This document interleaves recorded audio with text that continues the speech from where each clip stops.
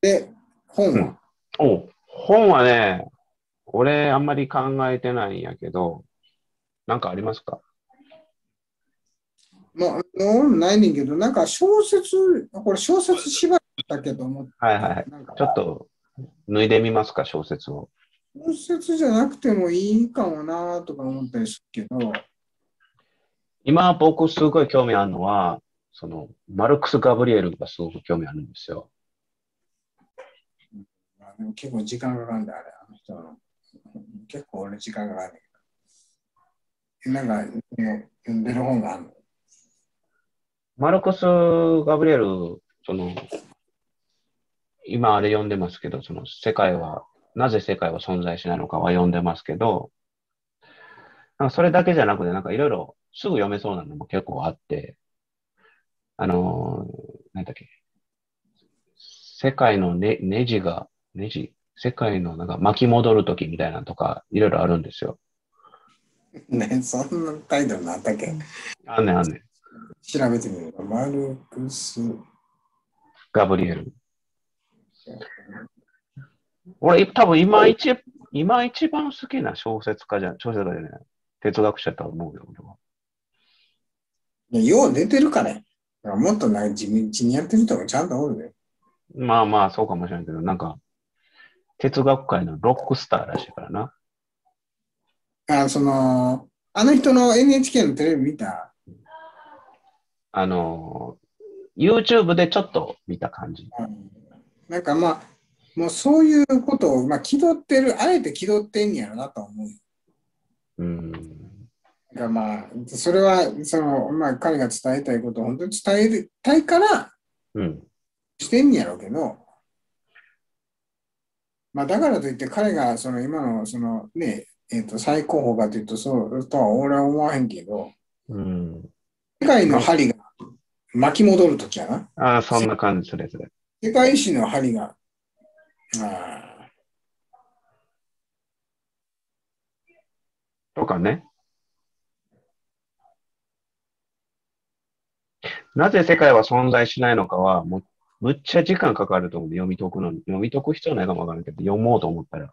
俺、もう結構時間かけて読んでるけど、え今回、あうん？うん、それってどういう本なん？その、趣旨的にいくと。趣旨的にいくと、その、このマルクス・ガブリエルは、まあ、その、いろんなことを言うてるんやけど、その、そのいろんなこと言うてんのは、その、実真実在論っていう自分のその、哲学に基づいていろんな発言をしてるのね。で、その真実在論を説明してるの真実在。実存、真実存主義。それを分かりや、分かりやすく、それを説明しているのが、その、なぜ世界は存在しないのかっていう本で、その、まあ、すごく簡単に言うと、基本的に世界は存在してないんだよ。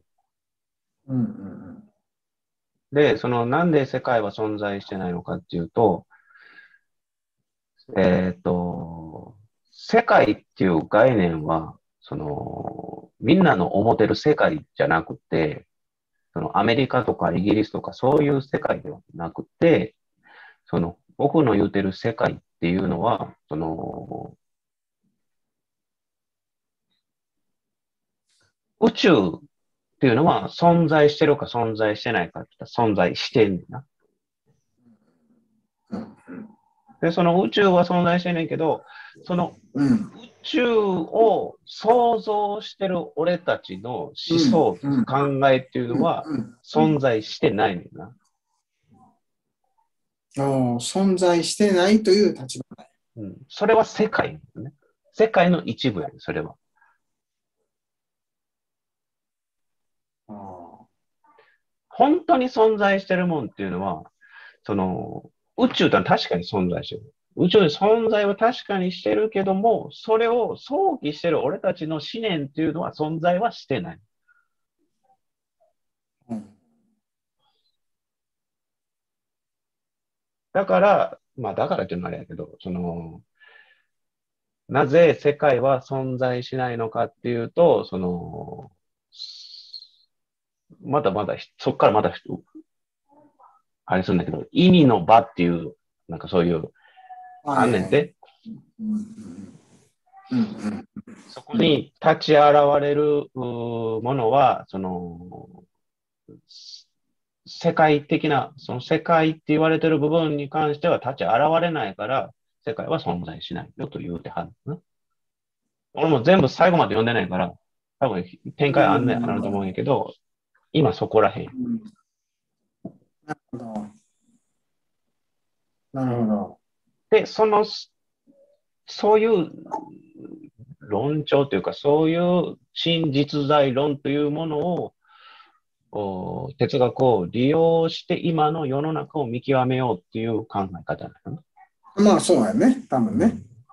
だからその宇宙っていうのは物質的に存在するかどうかっていうところはまあ存在すると言い切ってるけど、まあもしかするとその存在し、まあしてたらしてたでいいけどっていう感じやな。うんしてるかどうかなんて俺らが決める立場じゃないかもしれない。うんその宇宙とか世界とかっていうのは、まあ、完全な誇張や。うん。うん、もうだってもう人間にが考えられるところを超えそうになってるし、超えてるか超えてへんかようわからん部分もあるけど。うん、確かに。だからそれは厳密に言うと、あのー、まあ、そのさっきのオリンピックの話に戻るけど、オリンピックで前提にオリンピックみたいなことをやってるけど、うん、もう今、俺らが目の当たりしてるのはそういうことやからな。その世界っていう、その、要はオリンピックでさえ妄想なわけで、それがね、すべての国と地域が参加してるかっていうのは俺ら検証しようがないし、すべての民族が検証こう参加してるか検証しようがないし、それどっかで、まあ、ええか、これで世界っていうことにしてええかみたいな感じのこう決着をつけてるだけで、うん、詰めて言うなら、世界という概念自体は、俺らが作る妄想やと。そうそう。まあちょっと、今のは言い過ぎた部分あるかもわからんけど、そんな感じの。うん、なるほど。っていうことは、っていうことはやで、うん、俺が今、ちょっとググった感じでいくと、岩波新書の、新実存主義っていうタイトルのマルクス・ガブリエルの本がある。うんうん、これを読んでみませんか？お新実存主義っていうのが、まあ、俺はそもそも実存主義自体も、そもそも理解はしてないけれども、うん、まあ多分、多分、多分、その実存主義っていうのは、要は世界を人間の主体に戻そうとした運動やと俺は思ってるんですね。うん。世界の主体を物質的なものじゃなくて、人間の精神に戻そうとした運動やと俺は勝手に理解してるんだけど、はいはい。それにさらに芯がつくということは、この人なりの、なんかもうなんか、しょっちゅう映画の話が出てきへん？あのー、そのマルクス・ガブリエルの？そうそうそう。そうやな。え映画の？俺、私はノーではないっていう本を読んでんけども、しょっちゅうも映画の本、映画のタイトル出てくる。ああ、なんか、あの、あるな。この本は、じゃこの映画はこういうことを言うてるみたいなことそうそうそうそうそう。引用するやん。ああ、あるある。その映画全然知らんし、みたいな感じ。俺的には。それだけで十分、あなたの世界を、こう、なんかこう、世界に飲み込まれてるでっていう感じはすんねんけど、あえて、あえてやる、やってんやろなっていうところはあんねんね。あんねんあれ分かりやすくしてくれてんねんよ。そうそうそうそう。多分分かりやすくこう翻訳してくれてんねやろうけど、まあ、そういう意味で突き抜けてる感があるから、まあ、あのね、社長をばった議論よりかはええと思うけど、まあ、なんかこう、今、岩波かも出てるし、うん、まあ、マットの新種やからね、これ。新実在論ね。新実存主義。あ、実存主義ね。分かった。それ読もこれ時間かかりそうやな。だから、結局その次のとタイムで別に読み切ってなくてもいいやん。もうその時点で、そあの2回そね。その時点で思ったこと。うん。ここまで読んだけど、これはこういう部分でこう思ったっていうところでいいと思う。わかった。だから、本はマルクス・ガブリエルの、あ、いいな。もう、俺、いいね、これは。ガブリエルのうん。真プラスルサンチマンね。とルサンチマンでね。サンチマンか、重いな。ああ、でも、ルサンチマンは面白いと思うよ。ででも、まあ、逆に俺は結構見てほしいけどね。なんか、その会話、むしろ見てほしいな。ああ。どう、ちょっと予想つかんけどな。俺らの理解もおぼつかないけれども、なんかそういう議論してる人も、ね、あえて 2, 2週ぐらい回って新しいかもしれんし。うん。いや、面白いと思うよ。だらけやで、もう今はもうこの世の中は。うん。まあ、そこら辺もちょっと突っ込みながら、うん。はい、いいんじゃないでしょうか。はい。まあ、ちゅうことで、はい。えっ、と、お時間も今日ははい。2時間になりましたので、はい。えっ、と、では、あー次回、えっ、と、8月の後半か9月の前半ぐらいを、まあそうね。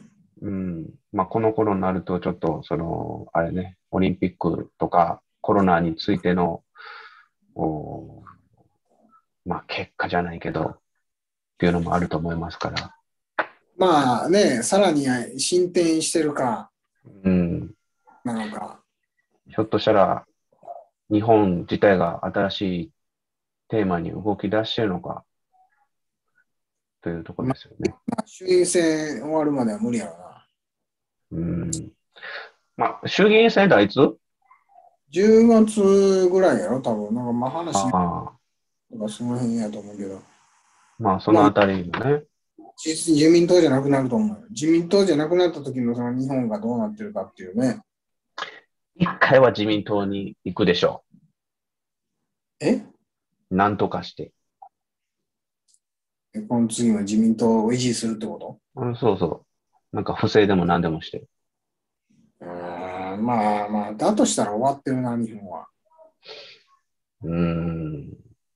自民党はもう、次の選挙は是が非でもプランといけないの。自民党側としてはね。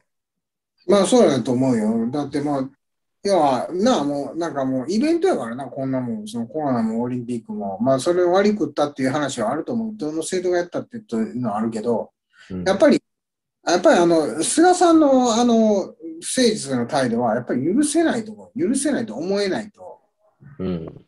国民で選挙権を持ってると言えないと。あれはもう、完全に日本国民に立ち上がれと言ってると思いますよ、僕は。